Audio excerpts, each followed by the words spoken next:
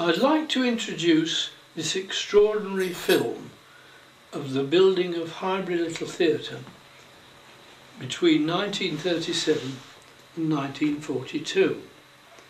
Um, the inspiration and, and energy came from John English and his wife Peter English, but it's important to realise this was um, mainly during a period of war when it made it very difficult to work on the building.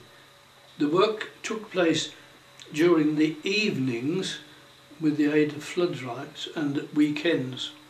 And at one time the theatre got pinched for contravening the blackout regulations and were fined the sum of 40 shillings. I was introduced to the theatre by two close school friends, Geoffrey Goodman and Colin Green. They joined at the beginning of 1942 and they worked on finishing the theatre off prior to its opening in May 1942. Um, my other close school friend, Robin Griffin, and I were persuaded by the other two friends to come to see the first play that was put on, Arms and the Man by George Bernard Shaw. And we turned up one Monday evening and joined the work party and saw the play, I think it was the following week. And we became paid up members by the late summer. So what we're going to see now, Dickie, is your friends from that period that engaged in building the, the theatre, whilst at the same time, of course, they were preparing plays to, Yeah. to show elsewhere. So on with the film. This film shows us the construction of Highbury Little Theatre during the period 1937 to 1942, and the film was made by Geoffrey Baker. Land was purchased in Sheffield Road, Erdington in 1937, and a disused mission hut already situated on the site was converted into the auditorium and the foyer. The stage, dressing rooms, and scene dock have been built throughout in brick.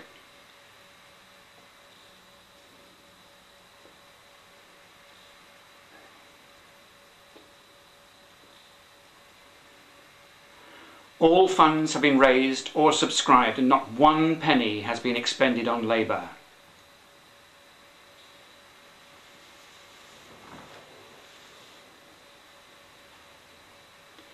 The work has been carried out mainly during the evenings and weekends. In winter, the work in winter time, the work was continued in the evenings with the aid of floodlights.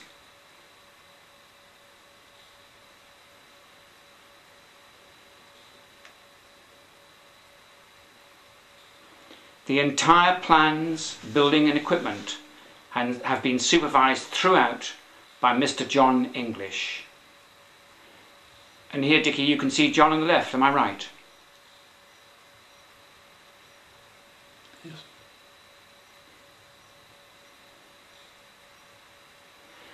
The site was owned by Miss Anstey, who had property down the road, the old PE college, and this is the old mission hut, which I guess had been there for a long time. It was a First World War army hut, originally on Cannock Chase. And goodness knows what Miss Anstey made of it. Perhaps it was to store stuff for her girls.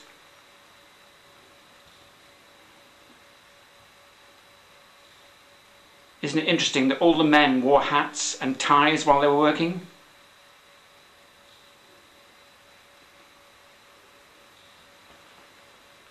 That's John. John was very keen to show that he was at the, at the heart of everything. He was prepared to work hard, wasn't he? And that's George Matthews, the stage director. Do you think that's Peter English, That is Peter English, yes. who designed sets and costumes but was prepared to, to, to, to work hard throughout the construction?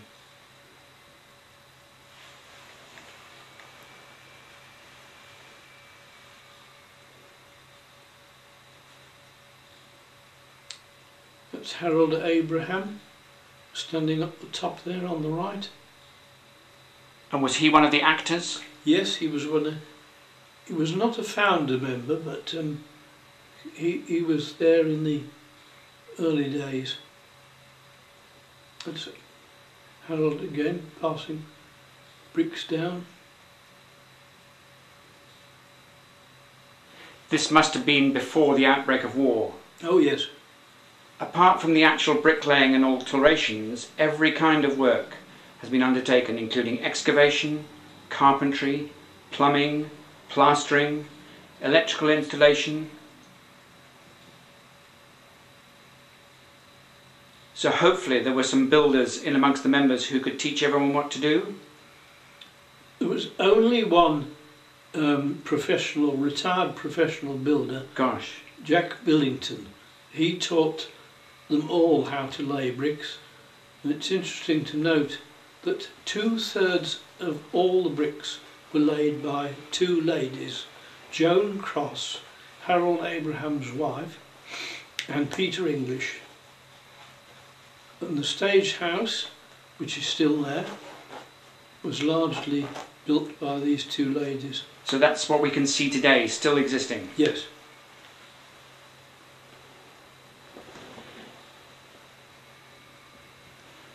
And the site, I believe, was only 28 feet wide, very, very narrow, which meant that all the scaffolding had to be erected inside the building, which, which in itself was quite a challenge. The wooden hut virtually covered the width of the whole site. It was very narrow. Here we see the water supply being put in. Yes, they did gas fitting. Um,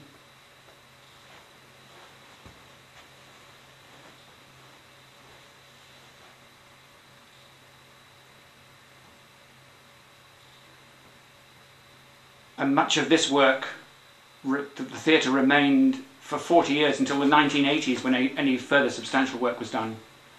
So it, it stood the test of time, didn't it? yes, it did.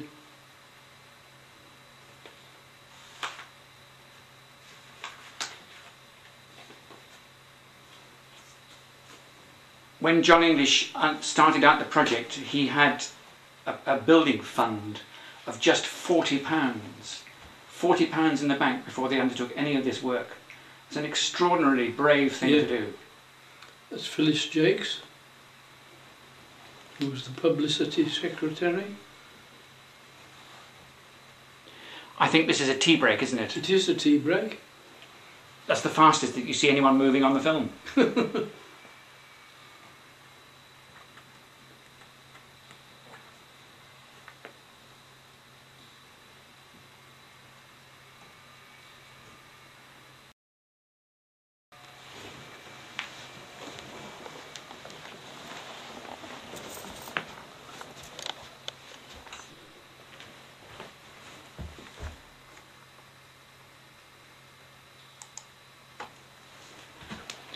In the background, Dickie, you can see all those roof tiles. And as I understand it, it was some embarrassment to John that he managed to buy 20,000 roof tiles early on and they were stored for, for three years before they were, they were ever used. Yes, and uh, of course the site was so cramped they very often had to move the materials more than once. And some materials must have been stored off site. Yeah, John had um, on Sutton Road um, before the war there were large, about six large mansions between the Yenton and the Abbey. John rented, I think it was called Colwyn House, a coach house there, and he stored, uh, prior to the theatre being built, loads of, of materials there and um, at other sites. What did they use to transport things to and from those houses to the theatre, Dickie? Before the war, um, John had got a little trailer attached to the back of his car. But of course, when the war came, um, that made it difficult because there was no petrol for ordinary people. But I think John got a petrol allocation of, because of his work. He was technical director of Chance Brothers West Bromwich and I know John had got a car so he was probably able to use it to move materials for Highbury. John always found a way to do everything he wanted to do, didn't he? Oh yes, He was a great mover and shaker. Yes I remember John's old Morris car sitting in the front and looking through holes in the floor you could see the road. Here they're starting to work at some height, Yes, and I believe that the scaffolding at one point was 40 feet high And it- from the, from the depths of the excavation all the way up to the eaves and the scaffolding was all wooden. And inside the building. Yes, Here we see what the men got up to, which was ex- excavating 250 tons of material from the, from the ba- to, to create the basement, and that's exactly what you can see today. and that's Jack Bishop on the left with the pick. He was the oldest member, one of the original Highbury players from the 1920s, but he, he would tackle anything.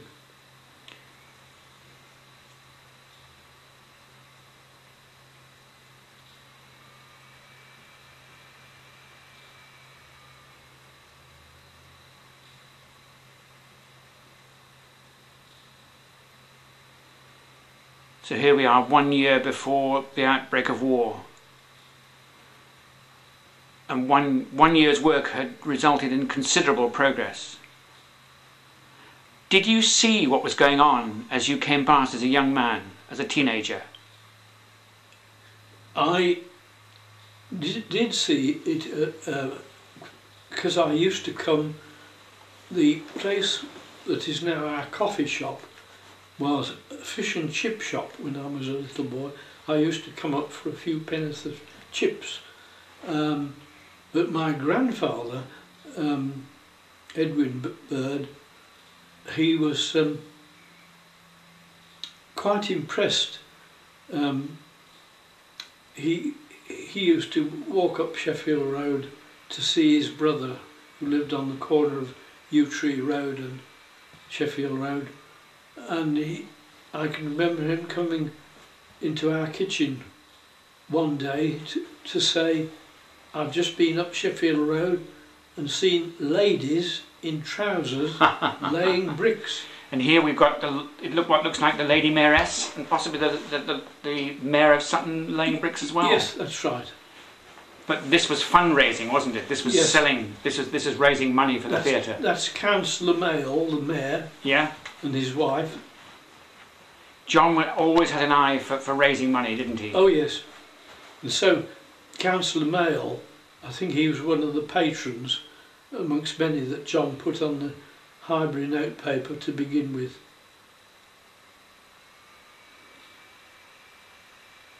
This is where the dressing rooms were. John was very keen to have a green room right from the start. Oh yes, Very important for some, because because his productions in the, in the very early years had up to 30 people involved in each production. oh yes, there were a lot, lot of large casts. That's why I appeared in one or two early plays, not because I wanted to be, but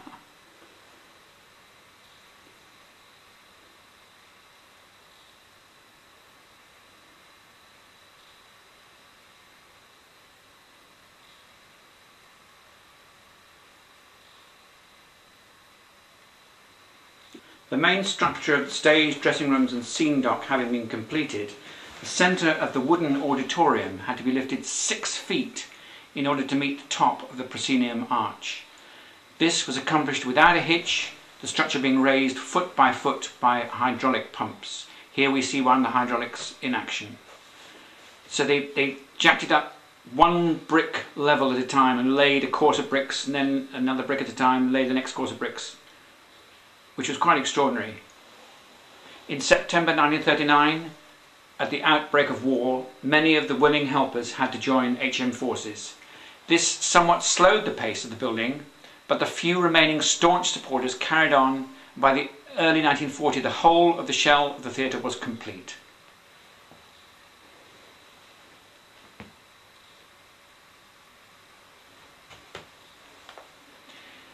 Looks like one of the canvas drapes that they used for the blackout. Would that be right, Dickie? Probably. And you said that they had. You They, can see drapes there, oh yes. Which and you can see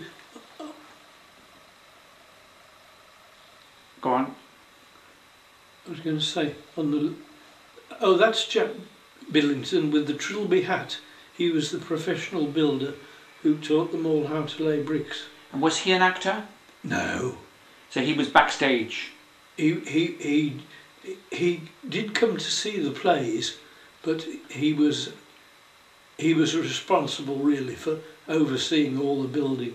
But how did he get involved to that extent? Was he was he was he a regular backstage crew? Well, no, because he, he, he must have been he was an Erdington builder. So John did his usual persuading act. I'm not, I'm not sure who persuaded him to take part, Yeah. but he was an Erdington man, obviously aware of what was going on. But you can see the way he handles a trowel, Yes. un, unlike the Highbury players. You know, he, he- was so skilled.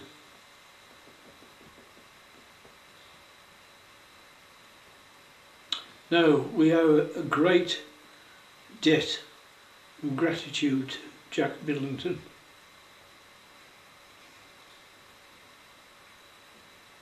Because all the bricks for the majority of the theatre were second hand.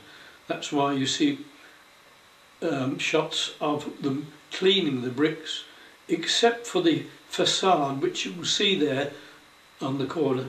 Um, those were nice new decorative bricks. All that frontage you can see there, they were new bricks. All, the, the, all the rest were second hand. the total cost of all the materials for the whole of the theatre, as I understand it, was, was just one thousand pounds, which is which is which is an amazing feat. Well, lots of the material was um, begged, borrowed, or acquired uh, without cost. Now, what we're going to see now is a production at Sutton Coldfield Town Hall, and John had the energy to organise this and direct this while the building was still going on. Is that right? Yes,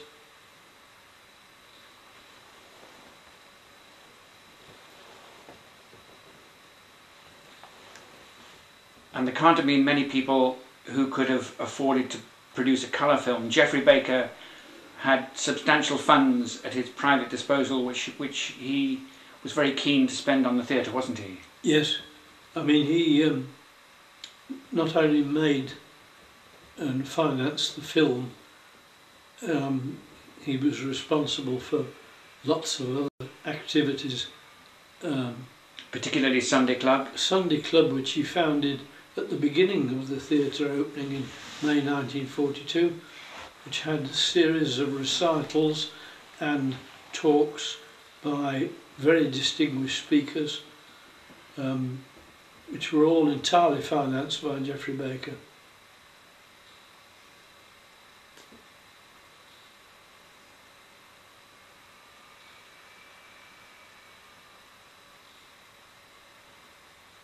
And I guess Peter English would have been busy making these costumes Well, as well as laying bricks. That's Peter English So she's acting as well. Yes, Goodness me. she was very gifted.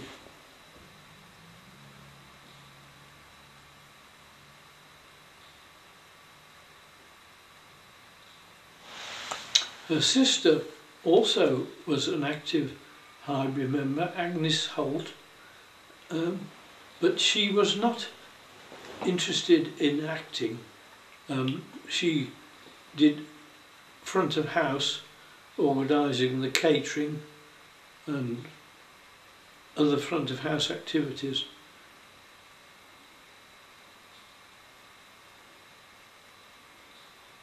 They must have started to feel that the theatre really was coming together when they were Mm. actually constructing the floor.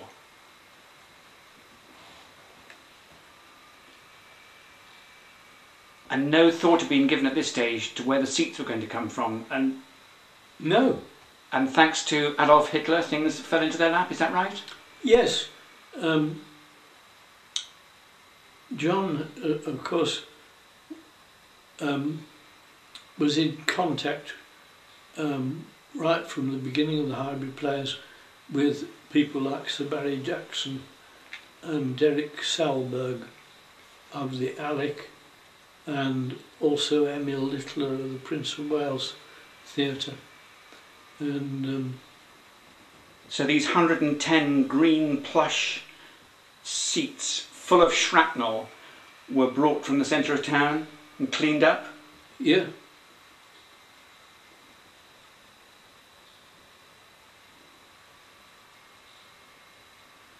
there's a nice shot of the seats. They were manufactured by Beck and Windybank in Birmingham. Um, they were a theatre and cinema um, seating firm. My wife's grandfather was a Mr. Beck and he worked in this family firm. And I believe that the auditorium was just wide enough for 10 seats. Yes, and they decided that they couldn't have a five and a five because people would come to the theatre in pairs Yes. on the whole. So they had four seats, then an aisle, and then six seats. that's right. Right down the middle. This is where all the lifting gear is for the lighting and the and the, and the scenery. Yeah, on the gantry. And I have a feeling these still exist today. yes, That's so what what is up there out of sight today was Yeah. built in 1942 yeah, and has stood the test of time. Pass the tests. and quite a lot of um, electrical equipment was um, donated by Sir Barry Jackson at the Rep because he was having the Repertory Theatre in Station Street. Um, all the electrical equipment was being replaced because the theatre there had been built in 1912. So John acquired all the electrical equipment, switchboard and such like, and, and spots from the old rep.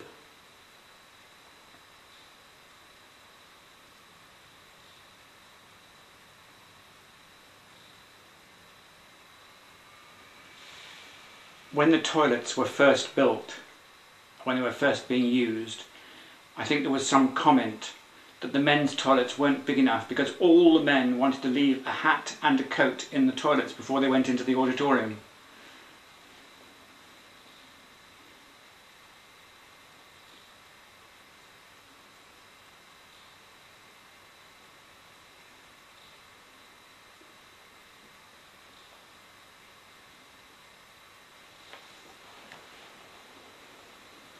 Walls of the auditorium have to be plastered, but before this can be done, wall board has to be fixed and the joints cemented.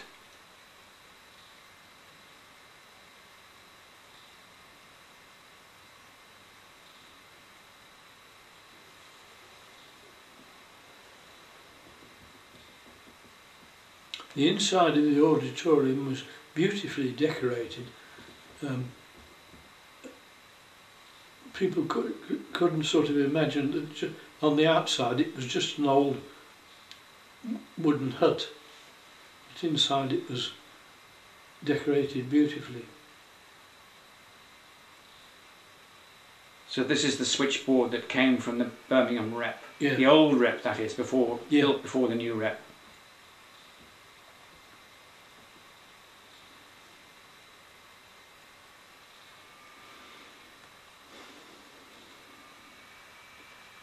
And here we see the switchboard.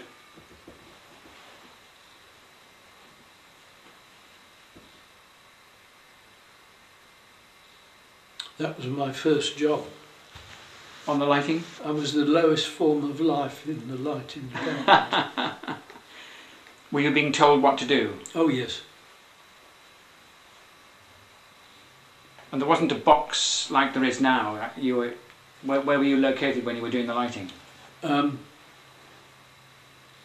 where the left-hand side of the proscenium arch, Yes. it was just a few, couple of feet behind that. a little platform. So you had to climb up and, and balance precariously above the stage. Uh, up, This is the f- one of the first audiences, I guess, coming out of the theatre in 1942. yes.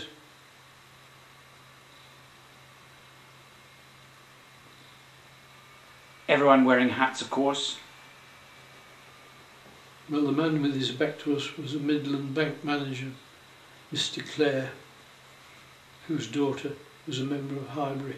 And I guess very few people arriving in motor cars. Uh, at that stage, none. But some people arriving in horses. If people came on horseback, and you'll see a pony and trap in a moment, there's the trap. And of course, all the Highbury players rode bicycles, or went up the road and got on the train, or a bit further up the road and got on the tram. And a lovely shot along Sheffield Road, showing complete lack of any cars of any kind. So there must have been many horses tied up at the back of the theatre. Oh, quite a few on some occasions in the. In the garden. There, there was a, they had stables, but it would only seat one or two horses. And here's the front of house ladies. Yes, Molly Randall and Linda Jeans. Molly, who later became John English's second wife That's right. and who helped found the, the Mac at Cannon Hill.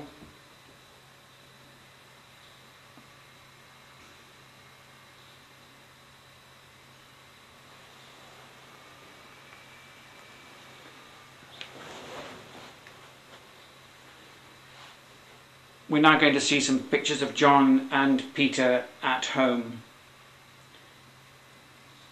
This is a very period piece of, of film.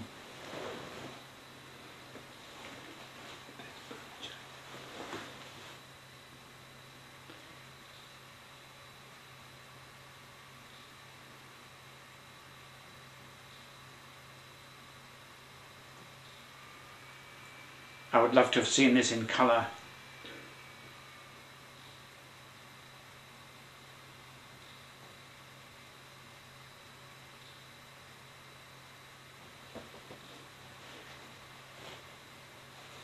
Was John's father, Bertie English, alive at this time?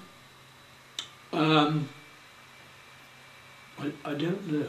Because it was it was Bertie English's house, Highbury, that gave its name to Highbury Players, did it not? Yes, in Wylde Green. Because that's where the original Independent Labour Party play reading group met that became the Highbury Players That's right. in 1923. Am I right? Um, Or was it 1924? Well, no, the Hy- Highbury Players were formed in 1924, um, but they, they started the play reading in the early 1920s. This is Le Bourgeois Gentilhomme. And this is using the revolve. This is using the revolve for the first time, and I was actually in this play with Bernard Summerfield. We were a pair of flunkies. We we were either side of these doors. So will, will you appear on screen, Dickie? Not on this, because this was filmed on a separate occasion. It was not a performance. Especially for Geoffrey Baker's film. It was just this bit was filmed for Geoffrey's film. I I, I don't know where I was. I was probably um, hmm, Probably at work. yes. Uh, I, I would think so probably. Margaret Platt on the left. Peter English on the right. And am I right in thinking that the revolve was turned by someone underneath the stage? with ropes. With ropes. It was the first first revolve we made. Actually, it worked remarkably well. Somebody was a bit swift on the curtains.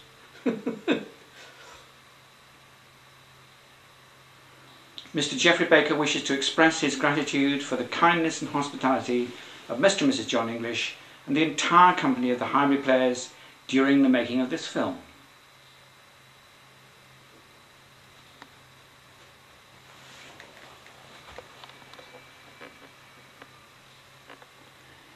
And this, ladies and gentlemen, is the end. Is it time for a cup of coffee or tea? Absolutely, yes.